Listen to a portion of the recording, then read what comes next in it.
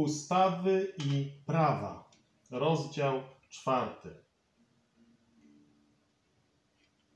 A teraz, Izraelu, posłuchaj ustaw i praw, które was uczę wypełniać, abyście zachowali życie. Weszli i wzięli w posiadanie ziemię, którą wam daje Pan, Bóg waszych ojców. W tym wierszu bardzo wyraźnie widzimy szczególny charakter piątej księgi Mojżeszowej. Słuchajcie i czyńcie, abyście żyli i posiadali.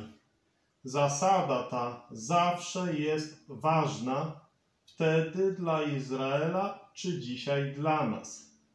Droga żywota jest prostodusznym posłuszeństwem wobec przykazań Bożych. Bóg nie dał nam swojego słowa, byśmy się kłócili z powodu niego lub nad nim spekulowali, lecz byśmy byli mu posłuszni. A o ile szczerze jesteśmy posłuszni przykazaniom i zarządzeniom naszego Ojca, o tyle kroczymy jasną drogą żywota i rozkoszujemy się we wszystkim, co Bóg przygotował dla nas w Chrystusie. Kto ma przykazania moje i przestrzega ich, ten mnie miłuje. A kto mnie miłuje, tego też będzie miłował Ojciec i ja miłować go będę i objawię mu samego siebie. Ewangelia Jana, 14 rozdział, 21 werset. Wielkim błędem jednak jest, jeśli przypuszcza się, że wszyscy wierzący rzeczywiście cieszą się tym przywilejem. Tylko kto jest posłuszny, rozkoszuje się tym. Wprawdzie wszyscy mogliby się tym rozkoszować, ale nie wszyscy są posłuszni. Wielka różnica istnieje między dzieckiem a posłusznym dzieckiem. Tak samo czymś całkiem innym jest miłowanie Zbawiciela i radowanie się w przestrzeganiu Jego przykazań, niż tylko świadomość zbawienia codziennie możemy znaleźć potwierdzenie tego w naszym życiu rodzinnym.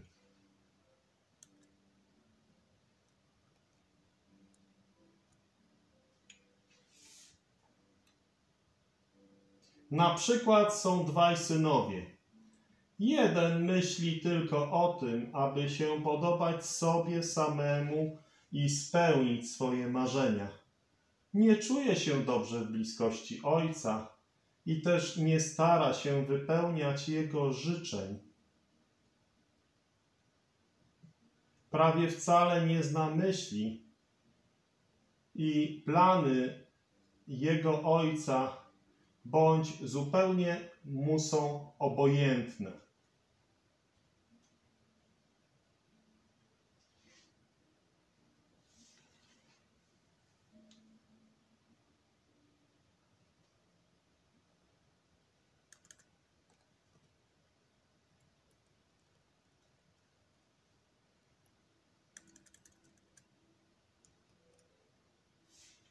Przyjmuje natomiast ubiór, książki i pieniądze.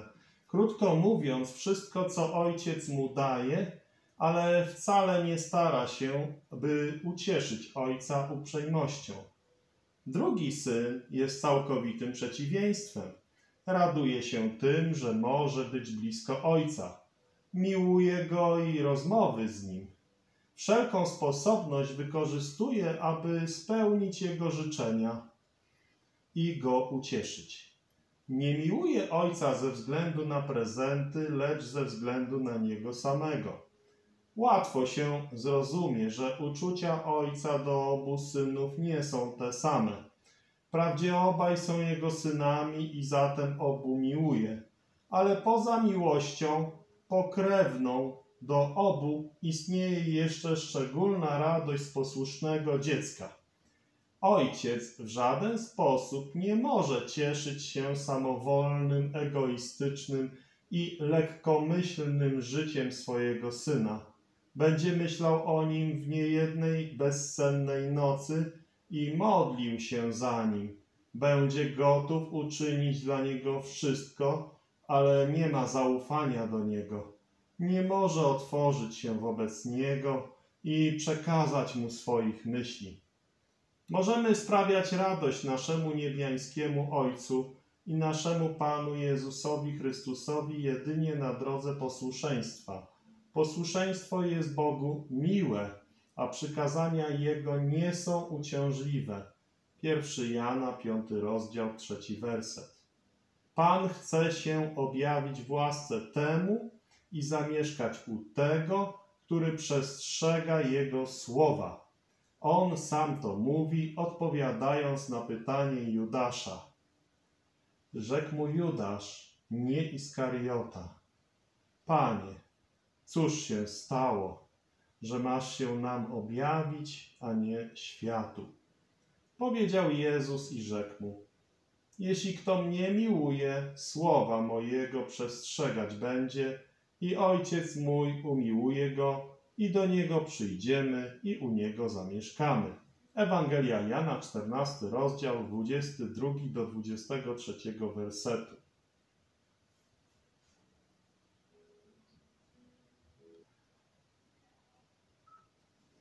Widzi się z odpowiedzi Pana wyraźnie, że nie chodzi o różnicę między światem a nami, gdyż świat nie zna ani tego stosunku, ani posłuszeństwa.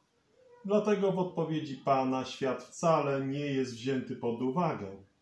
Świat nienawidzi Chrystusa, ponieważ go nie zna.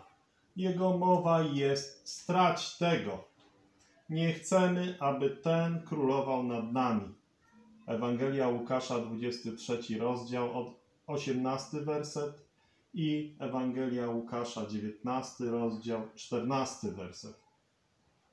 Taki jest świat, choć ulepszony przez wykształcenie i obyczaje i nawet pozłacany wyznaniem chrześcijaństwa. Pod wszelkim tym blaskiem i złotem jeszcze dzisiaj posiada tę samą nienawiść wobec osoby i autorytetu naszego Pana Jezusa. Wprawdzie wybił jego święte imię na swojej religii, ale pod płaszczykiem religijnego wyznania czyha serce pełne nienawiści przeciwko Bogu i Jego Chrystusowi.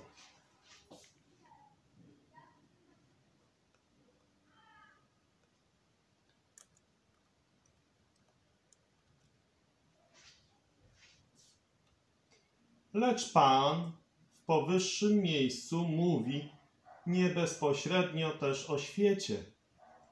Odłączony jest od Niego przy swoich i mówi o nich. Gdyby objawił się światu, konsekwencją tego byłby sąd i wieczne zniszczenie. Ale objawia się swoim, którzy mają przykazania Jego i przestrzegają je. Miłują Go i zachowują Jego słowo Oczywiście, gdy Pan mówi o Jego przykazaniach i Jego słowach, nie myśli o dziesięciu przykazaniach albo o zakonie mojżeszowym. Pomylić zakon mojżeszowy z przykazaniami chrystusowymi oznacza pomieszanie żydostwa z chrześcijaństwem, zakonu z Ewangelią i w ogóle pogmatwanie wszystkiego. Niejedni dają się sprowadzić z drogi brzmieniem słów i wnioskują, że gdy spotkają się ze słowem przykazania, to należałoby rozumieć pod tym zakon mojżeszowy. Lecz to jest bardzo wielkim i szkodliwym błędem. Pierwsze osiem rozdziałów listu do Rzymian i cały list do Galacjan pouczają nas wyraźnie i niedwuznacznie, że chrześcijanin w żaden sposób nie jest pod zakonem, ani pod względem tego, by pozyskać życie, ani pod względem tego, by pozyskać sprawiedliwość, ani odnośnie świętości, ani odnośnie postępowania lub odnośnie czegokolwiek innego. Nauka całego Nowego Testamentu zmierza do tego, aby wyjaśnić, że chrześcijanin nie jest pod zakonem, nie jest ze świata, nie jest w ciele i że nie jest już w swoich grzechach. Niewzruszonym fundamentem tego wszystkiego jest doskonałe wykupienie, jakie posiadamy w Chrystusie Jezusie. Dzięki temu wykupieniu jesteśmy zapieczętowani Duchem Świętym i zatem na zawsze złączeni i zjednoczeni z zmartwychwstałym i uwielbionym Chrystusem. Tak iż apostoł Jan może powiedzieć o wszystkich wierzących, o wszystkich dzieciach Bożych, gdyż jaki On, to znaczy Chrystus, jest, tacy i my jesteśmy na tym świecie. 1 Jana 4,17 To rozstrzyga całą tę sprawę dla wszystkich, co chcą być posłuszni Słowu Bożemu. A poza tym dyskusja jest gorsza niż to, iż byłaby tylko niepożyteczną.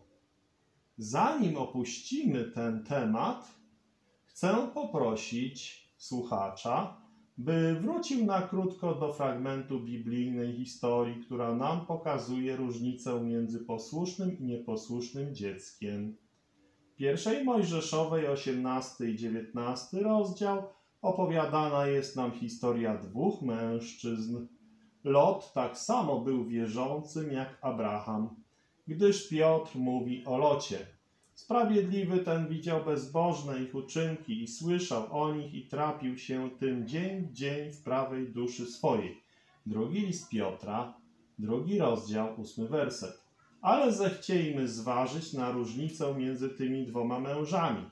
Sam Pan odwiedził Abrahama, usiadł z nim i przyjął chętnie jego gościnność.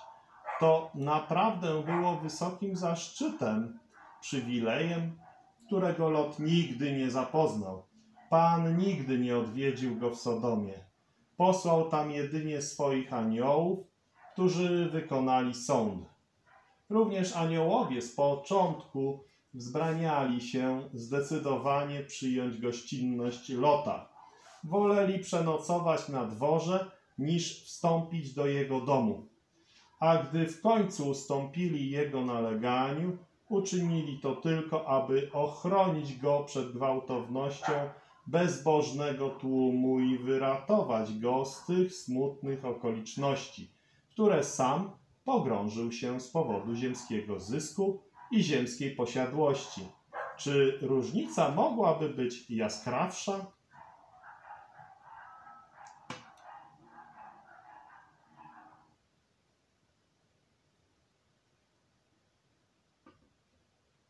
W Abrahamie Pan znalazł swoją radość. Objawił mu się, powierzył mu swoje myśli i powiedział, co zamierzał uczynić z Sodomą. Czytamy to w pierwszej Mojżeszowej, 18 rozdział, od 17 do 19 wersetu. Odwiedziny Pana u Abrahama dają wyraźną ilustrację. Ewangelii Jana, 14 rozdział, 21 i 23 werset. Aczkolwiek odwiedziny te odbyły się 2000 lat przed wypowiedzią tych słów. Czy znajdziemy coś odpowiedniego w historii Lota? Niestety nie. Lot nie był blisko Boga. Nie znał Jego myśli i nie posiadał zrozumienia co do Bożych zamiarów. W jaki sposób byłoby to też możliwe? Jak on, pogrążony w głębiny zepsucia Sodomy, miał znać myśli Boże? Oślepiony tą ciemną atmosferą, która otaczała zepsute miasta tej okolicy, jak on w takim stanie mógł posiadać wyraźne spojrzenie w przyszłość? To było absolutnie niemożliwe. Człowiek, który złączony jest ze światem, potrafi widzieć rzeczy tego świata tylko z punktu widzenia spojrzenia światowego i oceniać je miarą i jego myślami. Dlatego Pan grozi zgromadzeniu w Sardes, że przyjdzie do niego jak złodziej. zamiast pocieszać go nadzieją na przyjście Jego jako błyszcząca już trzęka. Jeżeli wyznaniowy Kościół spadł na poziom świata i niestety tak jest, to na przyszłość może spoglądać tylko z tego miejsca. Wyjaśnia to strach, z którym większość wyznaniowych chrześcijan myśli o przyjściu Pana. Oczekują go jako złodzieja zamiast jako swego umiłowanego oblubieńca. Jak mała jest liczba tych, którzy umiłowali jego przyjście. Przeważająca większość wyznaniowych chrześcijan znajduje swoje odbicie raczej w locie niż w Abrahamie. Kościół opuścił biblijną podstawę. Zszedł ze swojego wzniosłego miejsca i zjednoczył się ze światem, który nienawidzi i znieważa swego nieobecnego Pana. Ale Bogu niech będą dzięki. Nawet w Sardes jeszcze istnieją takie osoby, które nie skalały swoich szat. Objawienie, trzeci rozdział, czwarty werset. Parę żywych kamieni w pośród kupy gruzów martwego wyznania. Parę światełek wśród ciemności zimnego światowego chrześcijaństwa. Tak, nawet w czasie historycznym Kościoła przedstawionym przez Laodyceę, gdzie panuje jeszcze niższy i smutniejszy stan, gdzie wierny i prawdziwy świadek zamierza wypluć całe wyznaniowe chrześcijaństwo ze swoich ust. Nawet wtedy słyszymy dosadne słowa.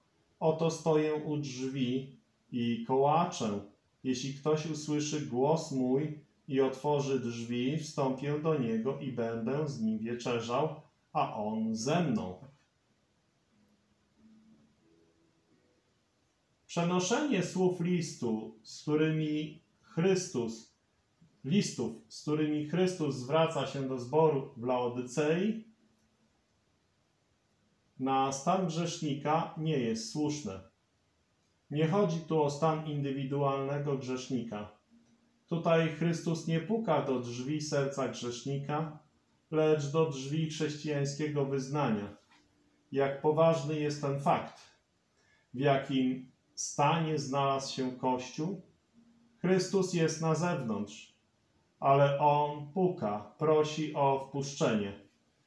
Czeka w cierpliwości i niezmiennej miłości i gotów jest wstąpić tam, gdzie znajdzie się jeszcze serce, które chce mu otworzyć. Jeśli ktoś mówi chociaż jeden sardes przedstawiającą protestantyzm, mógł mówić pozytywnie o kilku osobach. W Laodycei nie wie, czy znajdzie choćby jednego, ale nawet jeśli byłby tam tylko jeden, to wstąpi do niego i spożyje z nim wieczerzę. Wspaniały Zbawiciel, ten, który wiernie miłuje nasze dusze, Jezus Chrystus, wczoraj i dziś ten sam i na wieki. Słuchaczu, czy powinno dziwić nas to, iż nieprzyjaciel dąży do tego, by zniekształcić i źle zastosować tę przemowę do zboru w Laodycei, chrześcijańskiego wyznania w ostatnim rozpaczliwym okresie jego historii, bez wahania muszę stwierdzić, że zastosowanie tego jedynie na stan nienawróconej duszy pozbawia chrześcijaństwo jednego z najbardziej właściwych, ostrych i mocnych apeli, jakie znajdują się w Nowym Testamencie. Widzimy więc, że Bóg zawsze zważa na otwarte ucho i posłuszne serce, czy to w czasie wyznaniowego Kościoła, czy w dniach patriarchów, w czasie Nowego czy Starego Testamentu.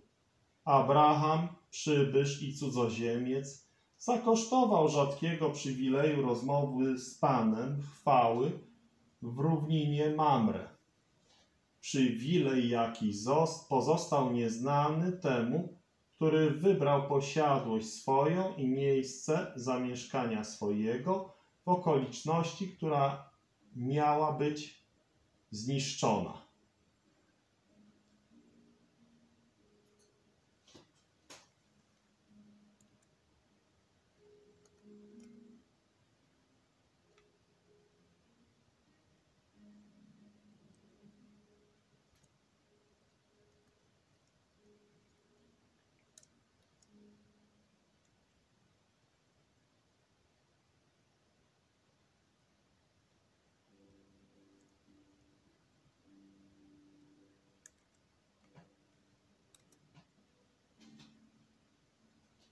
Zapamiętajmy o tym.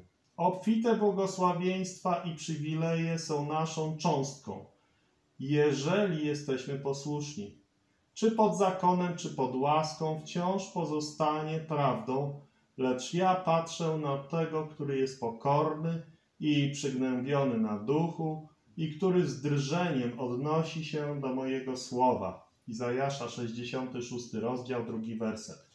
Tę zasadę spotykamy na początku naszego rozdziału, jak i w słowach naszego Pana w Ewangelii Jana 14 rozdział. Kto ma przykazania moje i przestrzega ich, ten mnie miłuje. I jeśli kto mnie miłuje, słowa mojego przestrzegać będzie. Apostoł Jan bardzo wyraźnie przedstawia nam tę zasadę, gdy mówi: Umiłowani, jeżeli serce nas nie oskarża, możemy śmiało stanąć przed Bogiem, mamy odwagę wobec Boga i otrzymamy od Niego o cokolwiek prosić będziemy, gdyż przykazań Jego przestrzegamy i czynimy to, co miłe jest przed obliczem Jego. A to jest przykazanie Jego, abyśmy wierzyli w imię Syna Jego, Jezusa Chrystusa i miłowali się wzajemnie, jak nam przykazał. A kto przestrzega przykazań Jego, mieszka w Bogu, a Bóg w nim.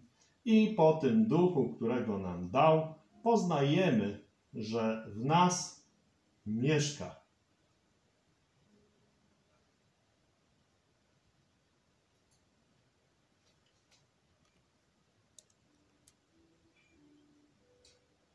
Przypis. Istnieje godna uwagi różnica między przykazaniami a słowem Pana. Przykazania zwracają się do nas z konkretnymi wymogami. Słowo zaś jest bardziej wyrazem myśli i nastawienia Pana. Jeśli nakażę coś mojemu dziecku, to wymagam posłuszeństwa. A jeśli dziecko mnie będzie miłowało, to będzie posłuszne z radością. Jeśli jednak wyrażę życzenie bez dodania wyraźnego nakazu, to moja radość będzie znacznie większa, jeśli dziecko pójdzie i uczyni, czego sobie życzyłem. Czy nie powinniśmy się starać, by ucieszyć serce Pana Jezusa? Czy nie powinniśmy dokładać wszelkich starań, żeby się Jemu podobać? Drugi list do Koryntian, 5 rozdział, 9 werset. On sprawił, że Bóg spogląda na nas z radością. On ma upodobanie w posłuszeństwie, jakie wynika z miłości. On sam przyniósł Ojcu w ofierze takie posłuszeństwo. Pragnę czynić wolę Twoją, Boże mój. Albo dokładniej, moją radością jest, Boże mój, czynić wolę Twoją. A zakon Twój jest we wnętrzu moim. Psalm 40, werset 9. Jeśli przykazań moich przestrzegać będziecie, trwać będziecie w miłości mojej, jak i ja przestrzegałem przykazań Ojca mojego i trwam w miłości Jego. Ewangelia Jana, 15 rozdział, 10 werset.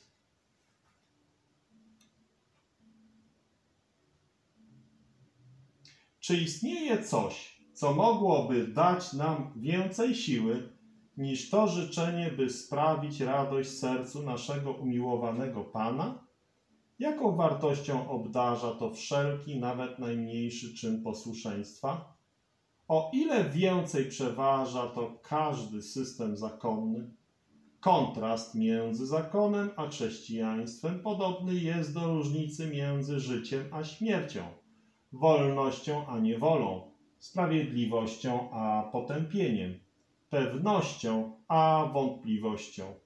Jak na opak zatem jest wszelkie staranie, by pomieszać ze sobą obie te rzeczy, zjednoczyć je w jednym systemie, tak jakby były tylko dwoma gałęziami z jednego pnia.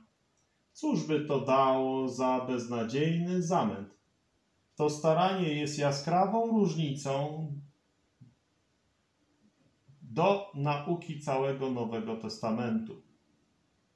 Nie jesteście pod zakonem, lecz pod łaską. mówi apostoł, nie dwuznacznie. Rzymian 6 rozdział, 14 werset. Duch Święty wyjaśnia tutaj z naciskiem, że chrześcijanie nie są pod zakonem. Gdybyśmy byli pod zakonem, grzech panowałby nad nami. Ciągle znajdujemy w piśmie, że grzech, zakon i ciało są złączone ze sobą. Ktoś, kto jest pod zakonem, nigdy nie może poznać szczęścia, jak to jest być uwolnionym od panowania grzechu. Już na tym możemy poznać, jak na opak jest nakładanie zakonu na kogoś. Wpychałoby się taką osobę w stan, w jakim grzech panowałby nad nią z nieograniczoną mocą. Zupełnie niemożliwe jest, by, świętować, by świętość wydać zakonem. Poświęćmy jeszcze chwilę na Rzymian siódmy rozdział. Czytamy w czwartym wersecie tego rozdziału. Przeto, bracia moi, i wy, to znaczy więc wszyscy prawdziwie wierzący, cały lud Boży, umarliście dla zakonu przez ciało Chrystusowe, by należeć do innego, do tego, który został wzbudzony z martwych, abyśmy owoc wydawali dla Boga. Chyba nie trzeba powiedzieć, że nie możemy być jednocześnie martwi dla zakonu i pod zakonem. Zauważmy przy tym, iż apostoł nie mówi, że zakon został umartwiony. Przez śmierć Chrystusową zostaliśmy wzięci ze sfery zakonu. Chrystus zajął nasze miejsce.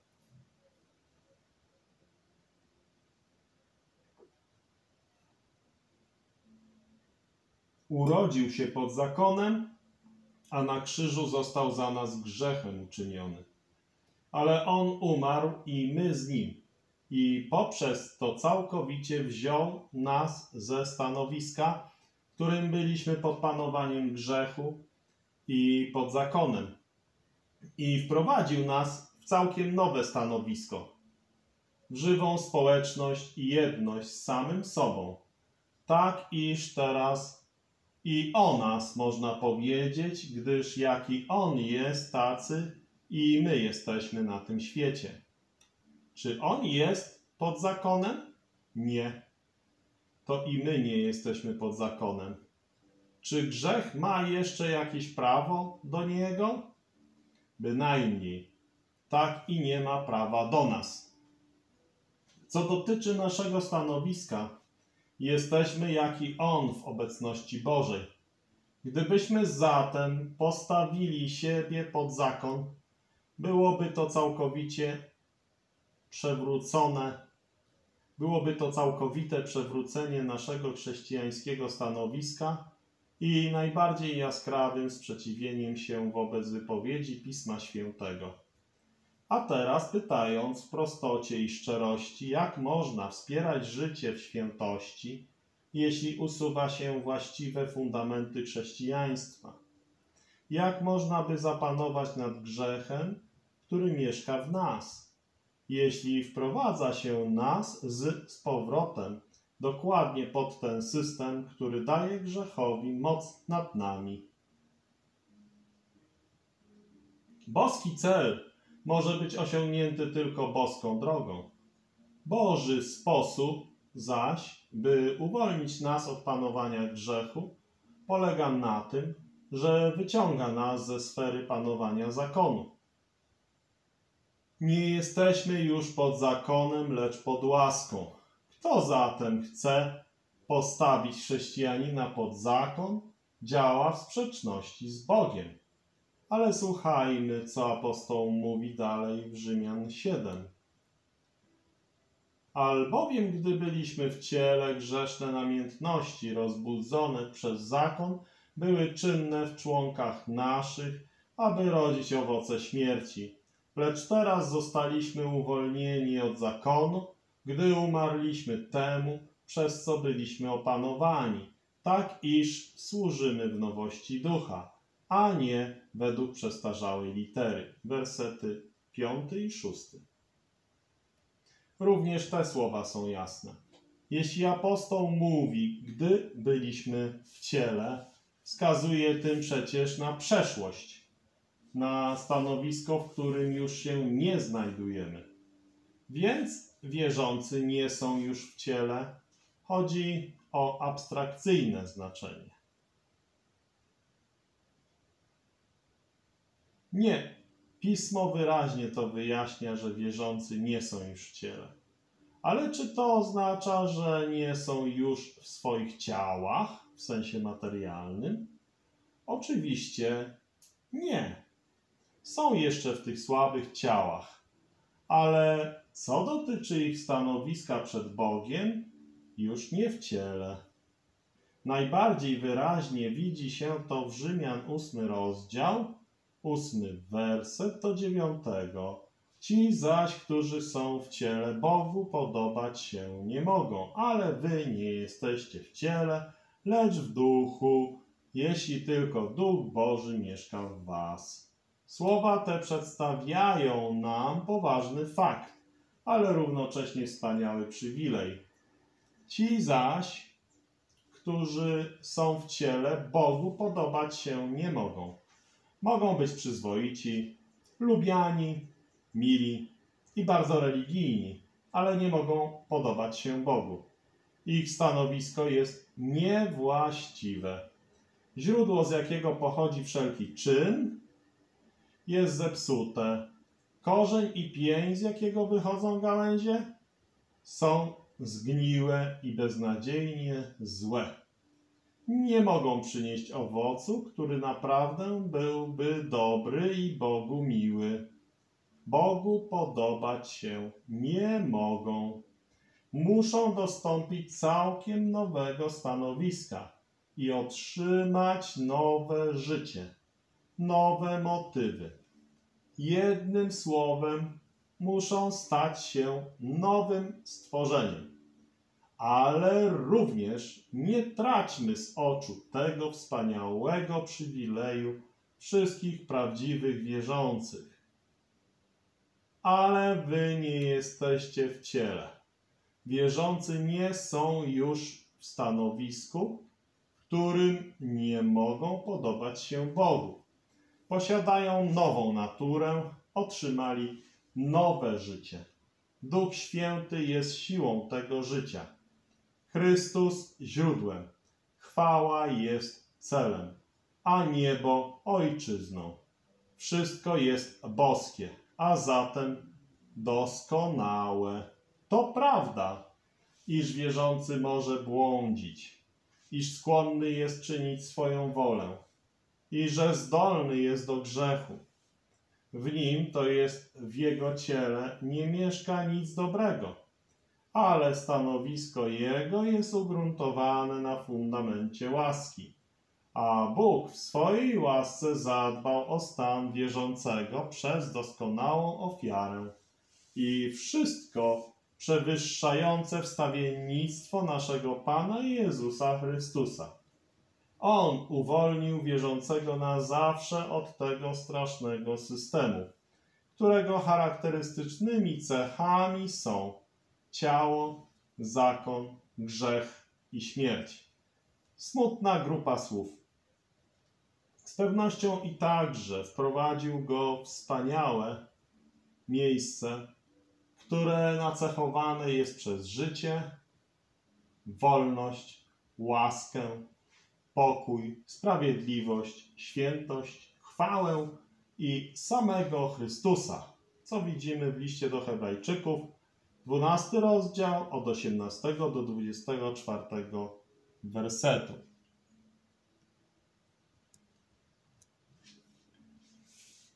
System zakonny człowieka całkowicie sprzeciwia się nauce całego Nowego Testamentu. Paweł ten wierny sługa Pana. Całe życie musiał walczyć przeciwko temu systemowi i jego obrońcami.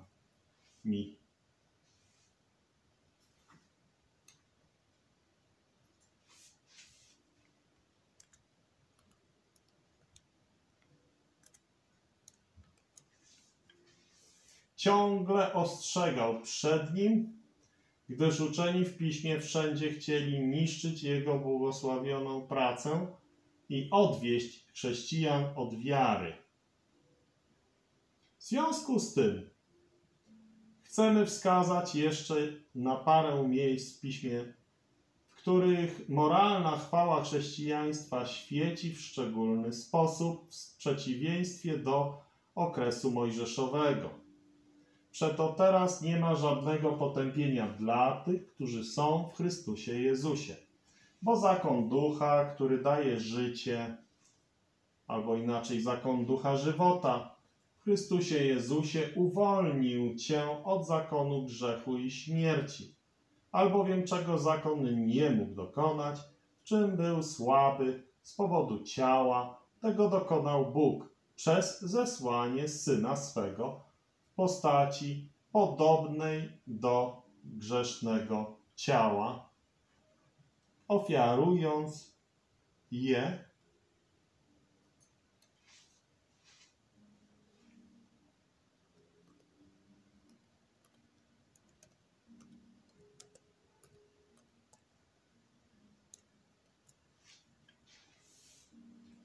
Widzimy to w Rzymian 8 rozdział od pierwszego do czwartego wersetu. Pierwszy werset opisuje miejsce, które zajmuje każdy chrześcijanin i jego stanowisko przed Bogiem. Jest w Chrystusie Jezusie. To porządkuje wszystko. On już nie jest w ciele pod zakonem. Doskonale i na wieki jest w Jezusie Chrystusie. W Chrystusie Jezusie. Dlatego dla niego już nie może odbyć się potępienie. W czwartym wersecie chodzi o postępowanie.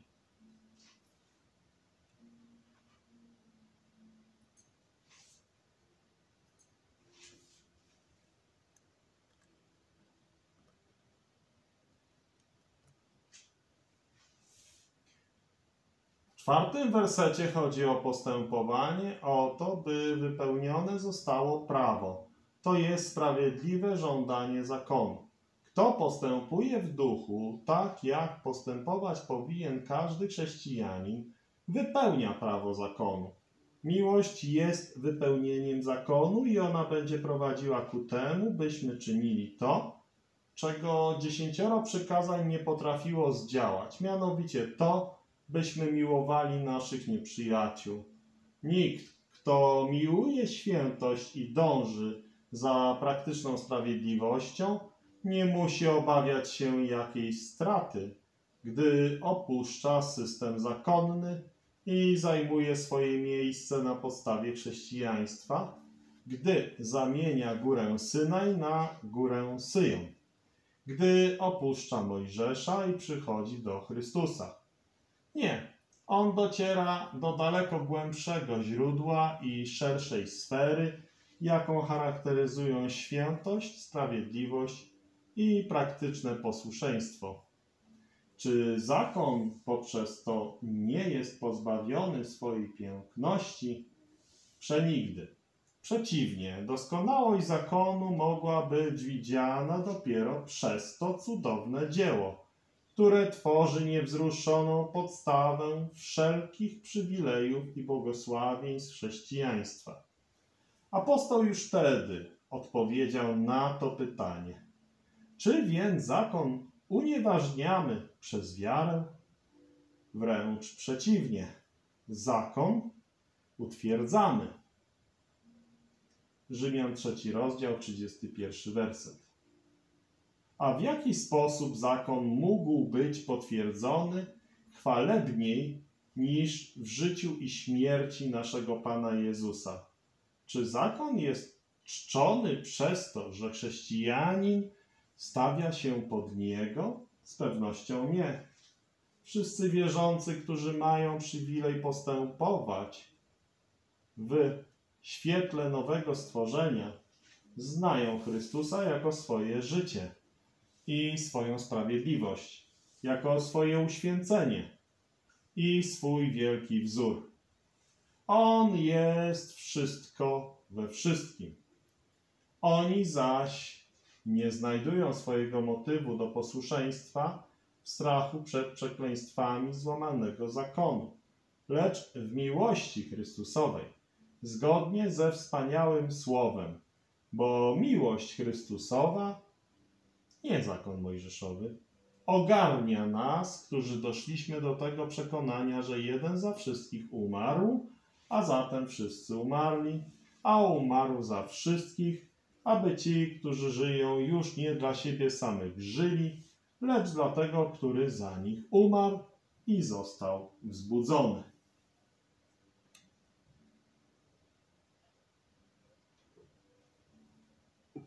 Drugi list do Koryntian, piąty rozdział, od 14 do 5 wersetu. Czy zakon mógłby sprawić coś takiego? Nie, nigdy.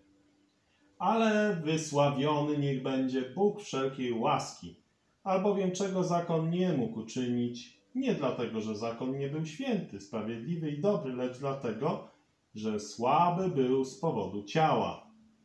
Wyrobnik był dobry, ale materiał był zgniły i niczego nie dało się z niego zrobić. Tego dokonał Bóg przez zesłanie syna swego w postaci podobnej do grzesznego ciała, ofiarując go za grzech, potępił grzech w ciele. Aby słuszne żądania zakonu wykonały się na nas, którzy nie według ciała postępujemy, lecz według ducha.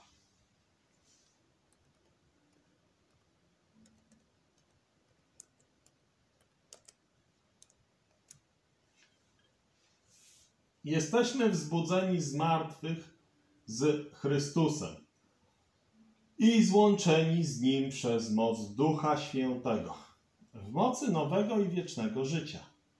To jest praktyczne chrześcijaństwo.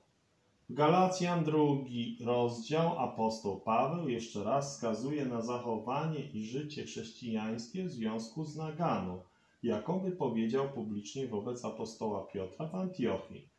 Piotr przez swoją naturalną słabość opuścił na chwilę fundament, który wierzący postawiony jest, na który wierzący postawiony jest przez Ewangelię łaski Bożej. Wersety od 11 do 21 zawierają wyraźnie przedstawienie praktycznego chrześcijaństwa. Sposób, w jaki Ewangelia Boża pokazuje drogę prawdziwego wierzącego, jest piękny i godny uwagi.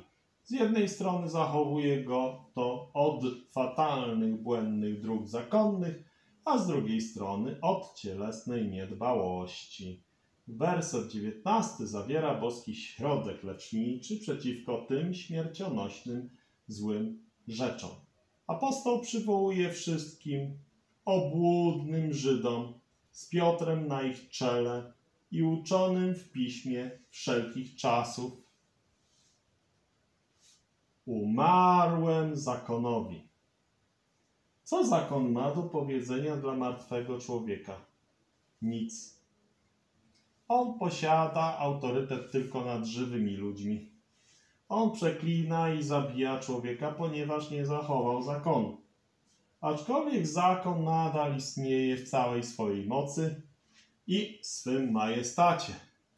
Zarówno jak i w swojej niezłomnej surowości. To jednak zasięg jego kończy się, skoro tylko człowiek jest martwy. Martwy człowiek całkowicie jest wzięty ze sfery zakonu. Ale w jaki sposób wierzący umarł zakonowi? Apostoł sam daje odpowiedź. Ja przez zakon umarłem zakonowi. Galacjan drugi rozdział, 19 werset. Zakon wprowadził wyrok śmierci w jego sumienie. Widzimy to też w Rzymian, siódmy rozdział. Ja żyłem niegdyś bez zakonu, lecz gdy przyszło przykazanie, grzech ożył. A ja umarłem i okazało się, że to przykazanie, które miało mi być ku życiu, było ku śmierci. Albowiem grzech, otrzymawszy podnietę przez przykazanie, zwiódł mnie i przez nie mnie zabił. Wersety 9 do 11. To jeszcze nie jest wszystko. Apostoł dodaje: Z Chrystusem jestem ukrzyżowany, żyję więc już nie ja, ale żyje we mnie Chrystus. To jest triumfalna odpowiedź chrześcijanina do wszystkich, którzy znów chcą go zaprowadzić pod zakon. Umarłem zakonowi. Nie aby teraz żyć w rozwiązłości, lecz abym żył Bogu. Czy istnieje większa odpowiedź na zakonność, a równocześnie na rozwiązłość? Własne ja jest ukrzyżowane. Grzech potępiony. Nowe życie w Chrystusie jest naszą cząstką. Życie dla Boga przez wiarę w Syna Bożego, a miłość Chrystusowa jest napędem dla tego życia. Cóż mogłoby być wyższe i piękniejsze? Jak zasmucające jest to, gdy widzi się dzieci Boże, świątynię Ducha Świętego i członki ciała Chrystusowego, pozbawione swoich wspaniałych przywilejów i równocześnie obciążone ciężkim jarzmem, które, jak mówi Piotr, ani ojcowie nasi, ani my nie mogliśmy nieść. Prosimy wierzącego czytelnika i słuchacza, aby przemyślał to i dokładnie sprawdził pismo co do tej sprawy. Czegoż więc są pozbawieni ci, którzy uwięzieni są systemem zakonnym i nie postępują wolności, dla której Chrystus uwolnił swój lud? Jak bardzo Ewangelia łaski Bożej przewyższa blaskiem zakon, którego człowiek nie mógł wypełnić? Wszyscy zechciejmy udowodnić przez odpowiednie postępowanie i w obcowaniu z innymi, że łaska potrafi zdziałać to, czego zakon nigdy nie potrafił. Dążmy do tego, aby na tyle, na ile potrafimy, prowadzić wszystkie wierne dzieci Boże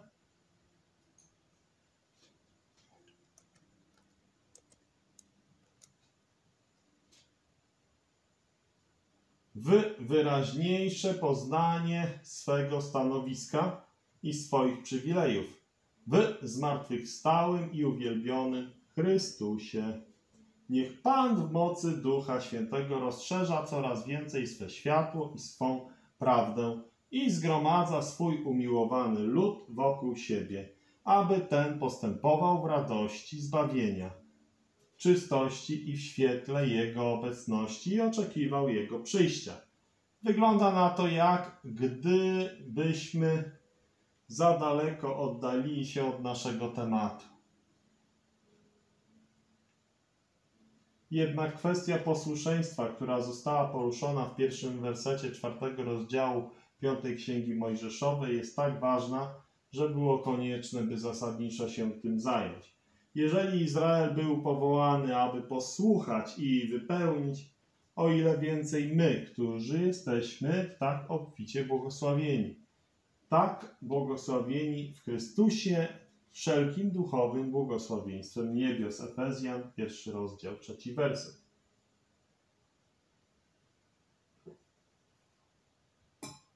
Jesteśmy nawet powołani do posłuszeństwa Jezusa Chrystusa, jak czytamy w pierwszym liście Piotra, pierwszy rozdział, drugi werset. Wybranych według powziętego z góry postanowienia Boga, Ojca, poświęconych przez Ducha ku posłuszeństwu i pokropieniu krwią Jezusa Chrystusa. Jesteśmy powołani do tego samego charakteru posłuszeństwa, które cechowało życie naszego Pana.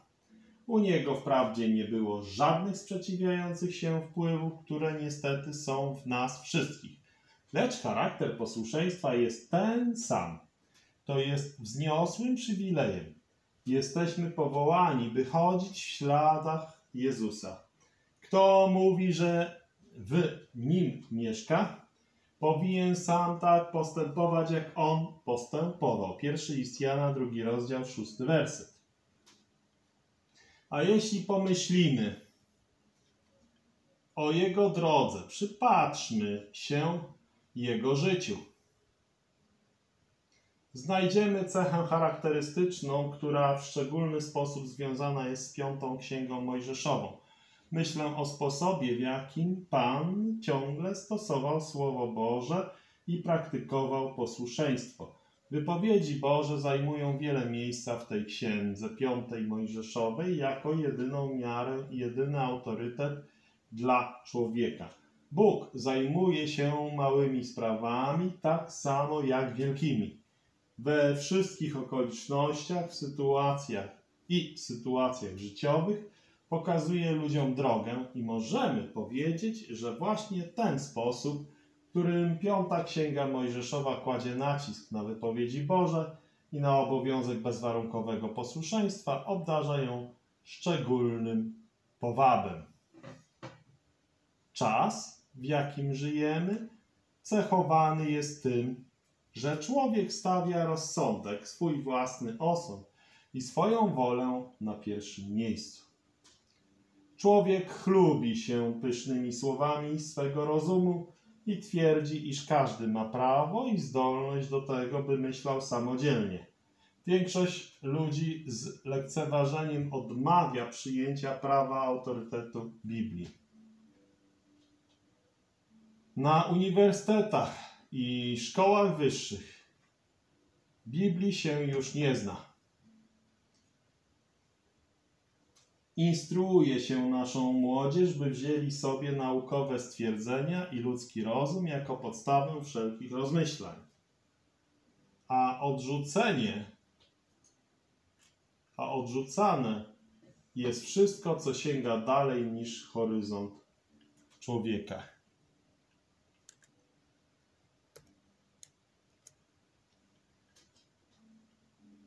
Lecz dlatego, że Bóg przemówił do nas, naszym pierwszym obowiązkiem jest, byśmy szczerze i dobrodusznie byli posłuszni objawieniu Bożemu. Droga posłuszeństwa jest drogą wspaniałych przywilejów, spokoju i błogosławieństwa.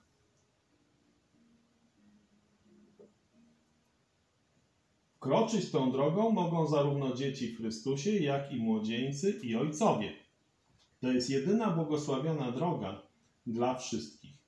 Niewątpliwie ona jest wąska, ale jest pewną drogą, która oświecona jest poznaniem Boga.